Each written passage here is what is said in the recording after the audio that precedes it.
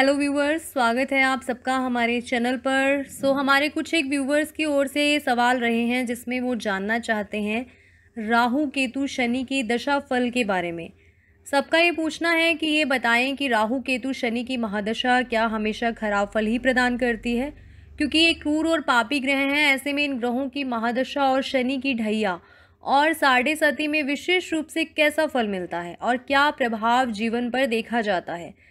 सो आज राहु केतु शनि की दशा से जुड़े फैक्ट्स को आज हम जानेंगे। सो ये तो हर कोई जानता है कि ज्योतिष में नव ग्रहों में राहु केतु और शनिदेव क्रूर ग्रह होने के साथ साथ पाप ग्रह कहे गए हैं।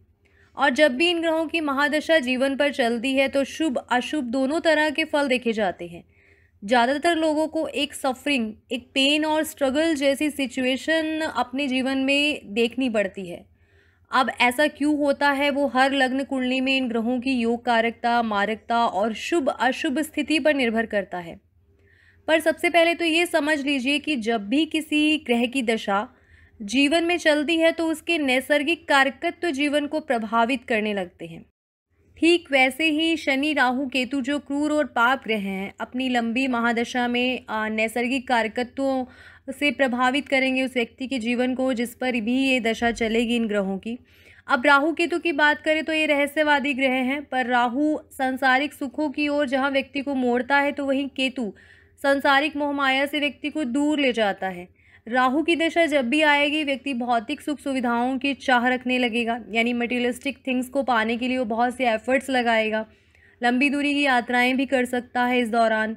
और समाज की परवाह न करते हुए अपनी इच्छाओं की आ, को इम्पोर्टेंस देना और कुछ अलग करने की चाह रखना ऐसे व्यक्ति में देखा जाएगा। अपनी डिज़ायर्स और प्लेजर्स पाने के लिए वो व्यक्ति काम करेगा। इसी तरह केतु जो डिटैचमेंट और मोक्ष कारक ग्रह है वैराग्य कारक ग्रह है, अपनी महादशा में आते ही व्यक्ति को स्पिरिचुअल बना देगा। केतु की दशा में व्यक्ति का मन अकेला रहने का करता है और केतु की दशा में व्यक्ति अपने आसपास के लोगों से दूर जाने लगता है और दूर जाकर वो खुश रहने लगता है। धर्म, कर्म और समाज सेवा के कार्य हैं या परोपकार के जितने भी कार्य हैं, वो केतु की दशा में व्यक्ति करने लगता है, उसका रुझान इन कार्यों में होने लगता है। अब ये तो नॉर्मल इम्पैक्ट और एक सामान्य प्रभाव जो है इन इन राहु केतु जैसे ग्रहों के नैसर्गिक कारकत्व को ध्यान में रखते हुए हमने बताया, अब राहु केतु की दशा फल कितना शुभ और अशुभ हो सकती है, उसमें बहुत से पॉइंट्स को ध्यान में रखा जाता है, क्योंकि राहु और केतु दोनों को ज्योतिष में छाया ग्रह माना गया है शेडो प्लैनेट्स होते हैं ये राहु शनिवत और केतु कुजवत यानी अपनी दशा में राहु शनि और केतु मंगल के प्रभाव लेते हुए अपना फल देते हैं। इन दोनों ग्रह की अपनी कोई एग्जिस्टेंस नहीं होती है। जिस भाव में जिस राशि में जिस ग्रह के साथ युति बनाते हैं उसके गुणों को ग्रहण कर लेते हैं और उसी के अकॉर्डिंग अपना अच्छा बुरा फल देने लगते हैं। साथ ही साथ जिन ग्रहों की दृष्टि में आ, ये ग्रह आते हैं उन सब ग्रहों का प्रभाव भी लेकर अपना दशा फल प्रदान करते हैं। अब राहु की दशा है और राहु शुभ भाव जैसे केंद्र त्रिकोण में है, मित्र राशि में स्थित है और राशि स्वामी की स्थिति भी कुंडली में अच्छी है। शनि भी पॉजिटिव है तो नो डाउट अपनी दशा में अचानक से राहु धन प्राप्ति करवा देगा। ऐसे में वो व्यक्ति मेटेलिस्टिक लाइफ के सभी सुखों को भोगेगा और आराम प्राप्त करेगा। लॉन्ग ट्रेवल्स हों और फॉरेन विज़िट हैं, ये सब भी राहु की दशा में देखे जाते हैं। राहु की दशा में ज़्यादातर व्यक्ति के, चाहे वो मेल हो या फीमेल लव अफेयर्स ज़रूर शुरू होते हैं। राहु की स्थिति सब तरह से पॉजिटिव हो तो लव अफेयर्स में कामयाबी दे, मिलती है, पर अगर राहु की भाव में स्थिति बिगड़ जाए या राशि लॉर्ड की स्थिति बिगड़ी हो तो फिर यही राहु उन लव अफेयर्स को ख़राब करता हुआ गलत फहमियाँ रिश्तों में पैदा करता है, दरार पैदा करता है और सेपरेशन तक भी दे देता है, क्योंकि राहु ईगो का कार्य ग्रह है। खराब राहु की दशा में गलत संगत, गलत आदतें पनपने लगती हैं। व्यक्ति सुखों की चाह में, पैसा कमाने की चाह में सट्टा, लॉटरी, शेयर मार्केट जैसे रास्ते अपनाता है तो वहाँ नुकसान मिलता है। बेफिजूल की यात्राएँ होंगी और मेंटल स्ट्रेस राहु की खराब स्थिति अपनी दशा में देती है। इसी तरह केतु की स्थिति अच्छी हुई, मंगल स्ट्रांग हुआ तो व्यक्ति अपनी एनर्जी और सोल स्पिरिचुअल फ़ील्ड में कुछ हासिल करने में लगा देगा। जैसे कोई मंत्र साधना है, धर्म कर्म के कार्य करना है, या ज्ञान प्राप्ति के लिए तरह तरह की किताबें ऐसा व्यक्ति पढ़ेगा। सोशल सर्विसेज़ आदि पर जो है वो व्यक्ति कॉन्सेंट्रेट करेगा, कई तरह की समाज सेवा के कार्यों से धर्म कर्म के कार्यों से जुड़ेगा। पर केतु की प्लेसमेंट अगर ख़राब होती है तो नो डाउट व्यक्ति भ्रम की स्थिति में जीने लगता है। यानी बहुत से डाउट्स और कन्फ्यूज़न उस व्यक्ति के जीवन में दिखाई देते हैं। केतु व्यक्ति को अपने आसपास के लोगों से दूर ले जाने लगता है और व्यक्ति कर्म करने से भी कतराता है।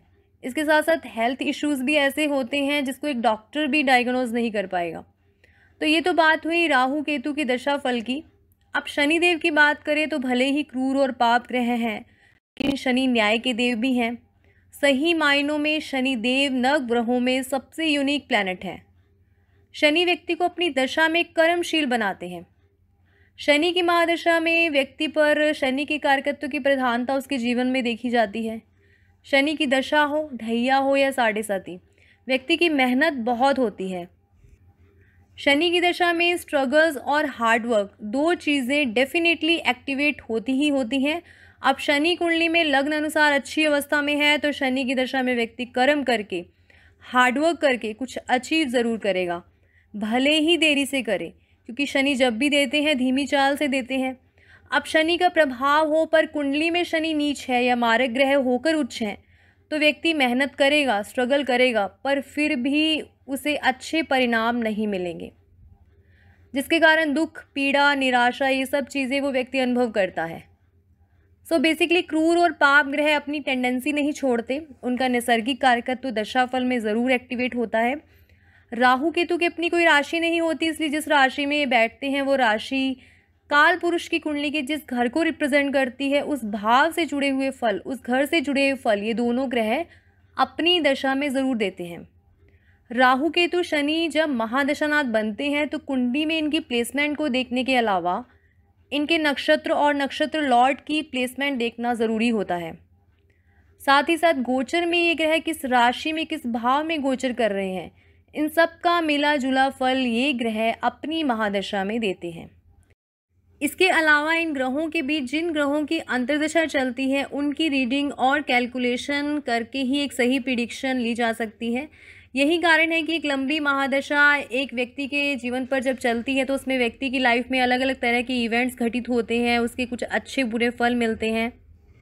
राहु केतु और शनि ऐसे ग्रह हैं, जिनके शुभ होने पर भी इनके बारे में सुनकर कोई भी व्यक्ति घबरा जाता है। शनि, राहु, केतु, पाप और क्रूर ग्रह हैं। इस कारण अक्सर लोग दशा फल को, इन तीनों ग्रहों की दशा फल को अशुभ मानते हुए डर जाते हैं और बिना सोचे समझे, बिना जाने, अपनी कुंडली को देखे बिना उल्टे सीधे उपाय करना शुरू कर देते हैं, स्टोन पहनने लगते हैं।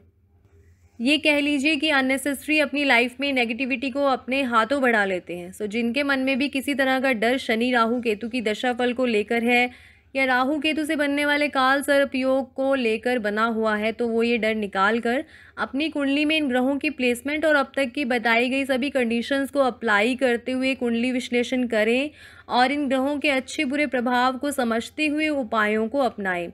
अपनी लाइफ को एक सही एस्ट्रोलॉजिकल गाइडेंस और सॉल्यूशंस के साथ जीने का प्रयास करें, क्योंकि ज्योतिष डराता नहीं है। ज्योतिष तो अपने अच्छे बुरे ग्रहों को समझते हुए अपने कर्म को सही तरीके से करने की राह बताता है। सो आपके मन में ज्योति से जुड़ा कोई भी प्रश्न हो या अपनी कुंडली के बारे में आप कंसल्ट करना चाहते हैं तो डिस्क्रिप्शन बॉक्स में दिए गए व्हाट्सएप नंबर पर मैसेज करके अपॉइंटमेंट बुक कर सकते हैं कॉल कंसल्टेशन ले सकते हैं। आप हमारे टेलीग्राम ग्रुप और फेसबुक पेज को फॉलो ज़रूर करें और क्योंकि वहाँ पर ज्योति संबंधित डाउट्स को दूर करने के लिए डेली के आर्टिकल पोस्ट किए जाते हैं। सो आज की वीडियो अगर आपको इन्फॉर्मेटिव लगी हो तो इसे लाइक और शेयर ज़रूर करें। धन्यवाद।